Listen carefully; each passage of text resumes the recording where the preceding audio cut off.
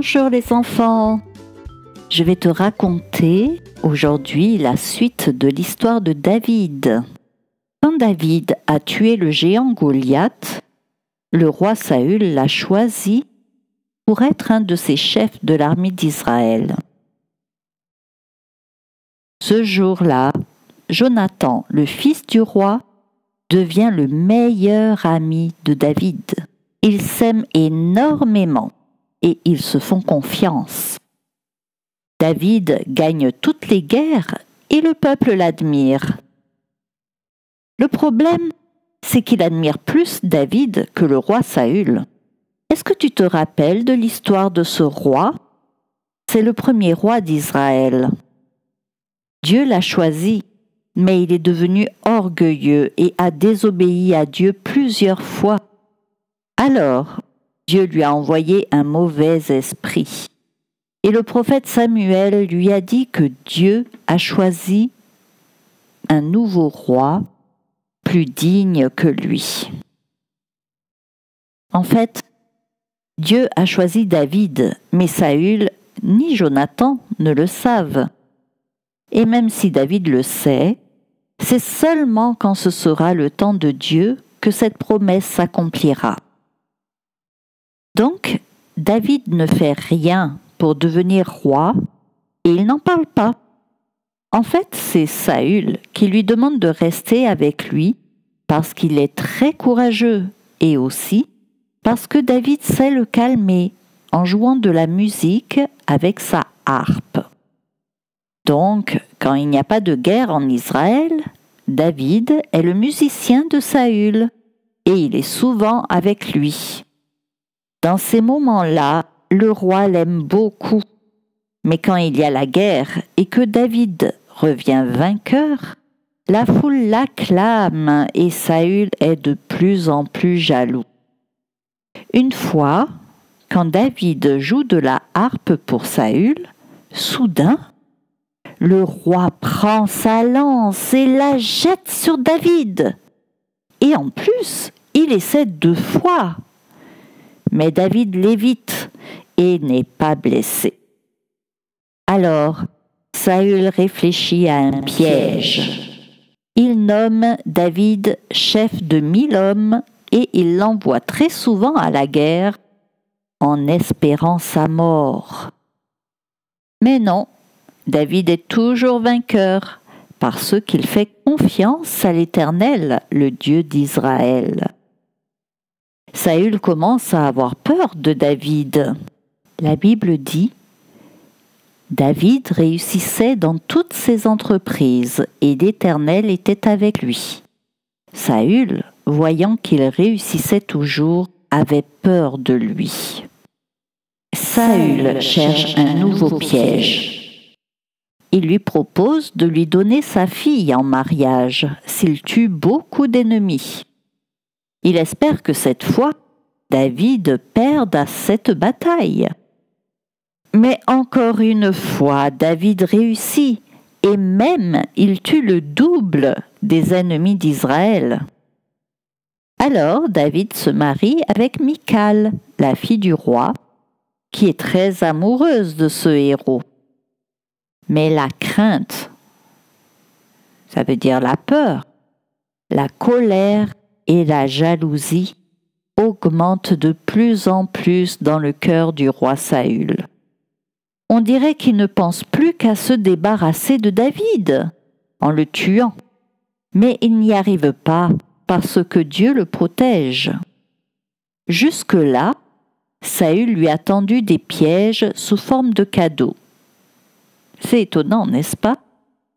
Il a fait David chef de guerre, puis il lui a donné sa fille comme femme.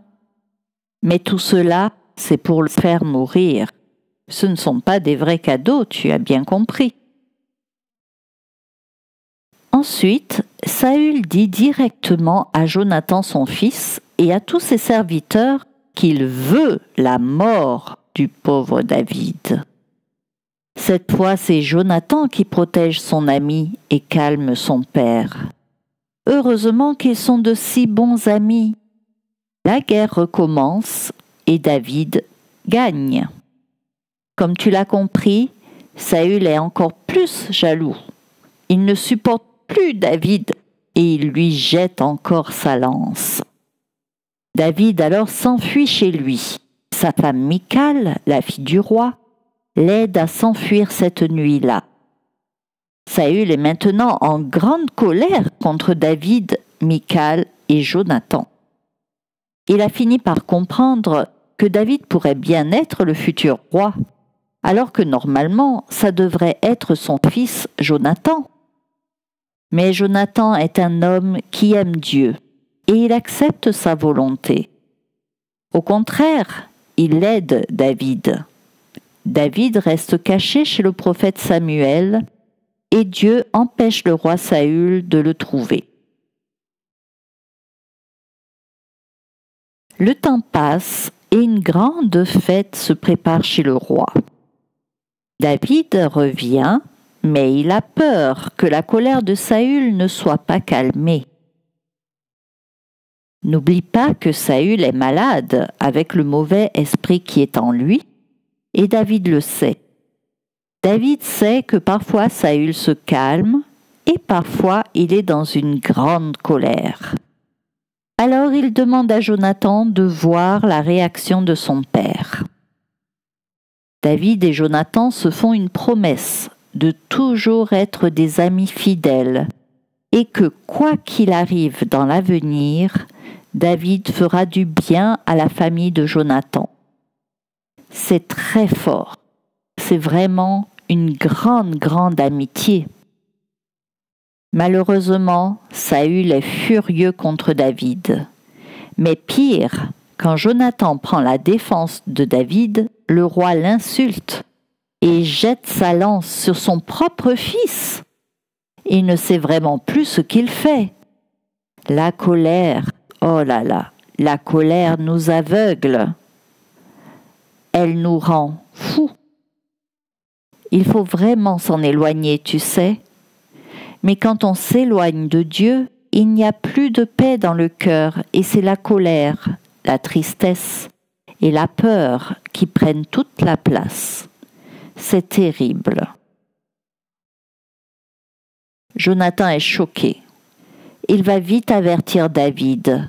Il s'était mis d'accord avec un code secret que seul pouvait comprendre. Jonathan doit faire semblant de partir à la chasse avec son serviteur et il dit le code secret à haute voix pour que David entende. Mais le serviteur croit que Jonathan parle de la chasse. Comme cela, personne ne sait ce qui se passe. Quand les deux amis se retrouvent seuls, ils savent qu'ils vont être séparés, car David doit partir loin et en cachette. Ils ont le cœur brisé et pleurent beaucoup. Pourtant, ce sont des guerriers. Ils n'ont pas l'habitude de pleurer facilement. Mais leur amitié est si forte et c'est tellement injuste. Et c'est comme ça que vont commencer les années de fuite et d'exil de David. Jonathan va rester avec son père et essayer de le calmer. Mais c'est impossible. Saül cherchera David jusqu'à sa mort. Mais c'est une autre histoire. Tu vois, malgré toute cette injustice et la méchanceté de Saül, David et Jonathan ont continué à croire en Dieu. Ils savent que Dieu a un bon plan. Ils lui font confiance. Jonathan sait qu'il ne sera jamais un roi, mais il a un grand cœur et accepte que ce sera David son grand ami. Dieu a pourtant choisi David pour devenir le prochain roi. Mais à travers beaucoup de souffrances il lui a appris qu'il était toujours avec lui et qu'il devait lui faire confiance.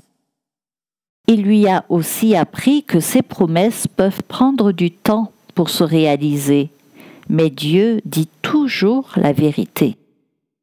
Alors tout ce qu'il promet, il le fait. Et ayant la pleine conviction que ce que Dieu promet, il peut aussi l'accomplir.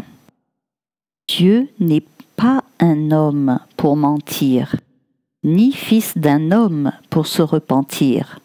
Ce qu'il a dit, ne le fera-t-il pas? Ce qu'il a déclaré, ne l'exécutera-t-il pas?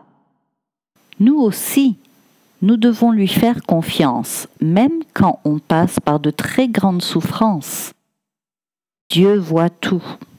Il voit ce qui est dans ton cœur et dans ta vie.